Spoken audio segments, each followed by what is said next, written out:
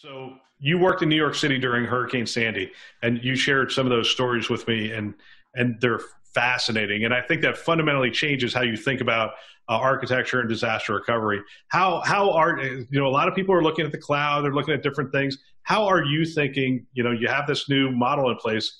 How are you doing disaster recovery for this? Sure. So I think with with Sandy, I, you know, it really changed who I am. One thing that is very very important is making a extremely cohesive disaster recovery. What does that mean? Making sure that you look at all the peripherals that inject into your EHR, your PACS, any business line that you want to do disaster recovery and highly available uh, solution, highly available solution.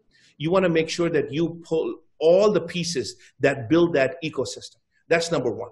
Number two is make sure that it's auto failover. Once disaster happens, there is no time for people to pick up the call. Their family um, in Sandy, people had their homes under uh, underwater. So you can't ask 16 people to come meet you in some kind of data center or remotely uh, get to your data center and do the steps that are required to move from one site to another.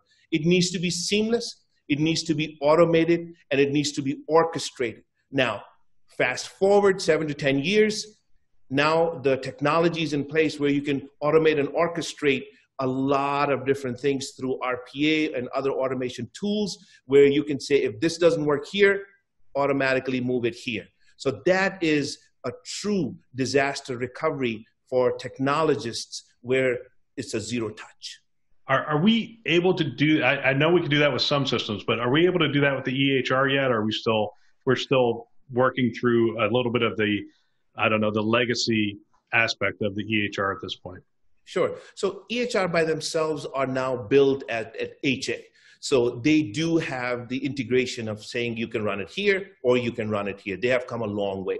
Now, you have to decide all the peripherals around them. Even having Active Directory fully redundant across two data centers is very important. Your Active Directory doesn't work, nobody can log into your EHR.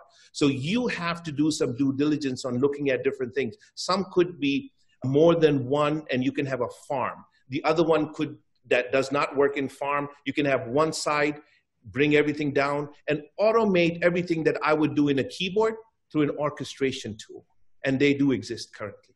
So when you stood up your new environment, did you did you essentially say, "Hey, we're just getting two of them. We're putting one here, one here"? Is so that- we got two and two. So now we have two in one place, completely highly available within the data center. Then we have two more highly available within the data center. So at any time we can mo- move back and forth without any problems. And of course, there's, there, there's some uh, currently intervention required for humans, but we are getting to a place where we completely automate.